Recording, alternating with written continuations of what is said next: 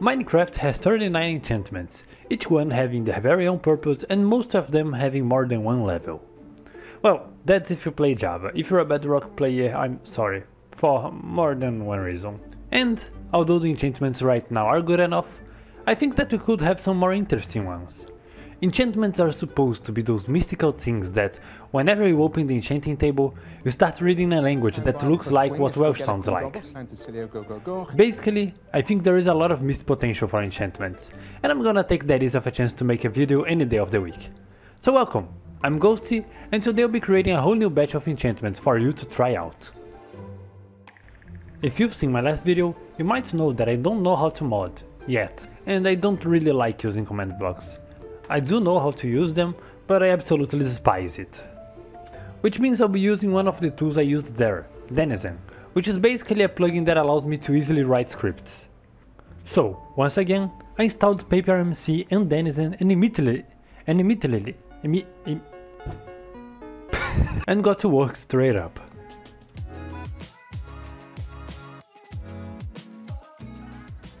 I won't even bother with telling you all the enchantments I've made, because there are a lot of them.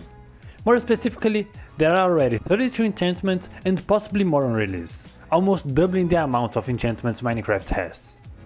So, instead of showing you every single one of them, I will show a few cool ones and you can experiment with the rest of them as soon as this script becomes public, which will be very soon, where I'll also show you how to set up your server and install plugins. But, for now, let's get into it. Essentially, we have three types of enchantments attacking enchantments, defending enchantments, and utility enchantments. These are in no way set in stone, and I'll only be using them to facilitate explaining each enchantment for you. First, attacking enchantments. Those enhance your ability to damage enemies. So, for example, there is the Wiseness enchantment, which makes you deal more damage the more XP you have. Although there is a limit to that, you can't just insta-kill the Ender Dragon for level 100. As another example, there is Cripple, which simply slows your enemy down after you attack them. It may not be very strong, but I mean, it's a little help. There are also 4 new monster focus enchantments that work just like Smite or Bane of Arthropods, but this time focused on skeleton type mobs, fire type mobs, pig type mobs and ender type mobs. I know this may seem very situational, but many times you know what you'll be fighting against, so they might be more useful than you expect. Next, we have the defending enchantments, which doesn't necessarily mean that they protect you, as stupid as that may sound, but rather that they are usually activated when the player is attacked, being more of a reaction against your enemy than a defense for yourself. For example, we have Pyromania, which honestly is more of a curse than an enchantment, since whenever you get attacked, you set whatever attacks you on fire, which usually causes this.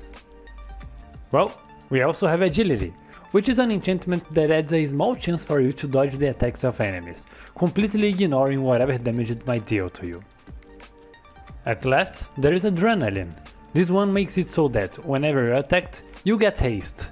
You may use this effect to mine your way out or to hit faster. Lastly, we have utility enchantments, which are not combat related and are probably the more useful ones.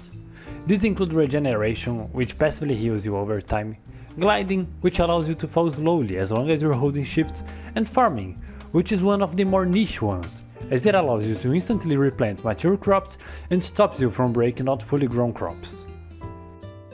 With all I've talked about, it may seem that there are no drawbacks to enchanting your weapons with those new enchantments. But well, you see, there is a bug in the system that makes the enchanting table not show what you'll be getting if it's a custom enchantment. There is nothing I can do about that, sorry so I decided to use that to make a little game.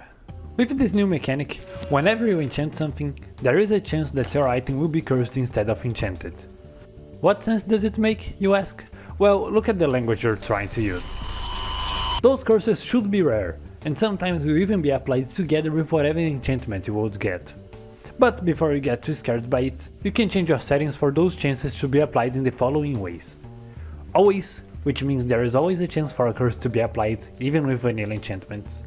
You can set it to custom, which means that curses can only be applied whenever you're adding a custom effect, or to never, which means that curses don't exist and you're too scared to face the consequences of trying for greatness. Now, let me show you a few curses. That sounds ominous. The Curse of Fear makes you always scared, playing random monster sounds every so often. So, for example, you might be mining and... There is also the Curse of the Eclipse, which does not let you know what time it is by making it always nighttime. If you're exploring, you better keep removing this piece of armor, or you might not notice that the day is ending. As for rare curses, we have the Curse of Gluttony. If your food bar is not at least at 90%, you will get debuffed. It's not a big deal, but it's very annoying.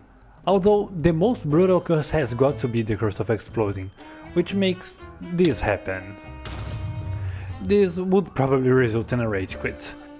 Well, that was it for my enchantments. As I said, I'll be releasing those very soon together with a very quick video on how to install them, so subscribe so that you get notified whenever this happens. Thank you all so much for the support on my previews and first video, I honestly didn't expect such positive feedback, and for it to do as well as it did, you guys are the best. That's it for me, so please leave a like on this video, and I'll see you on the next one.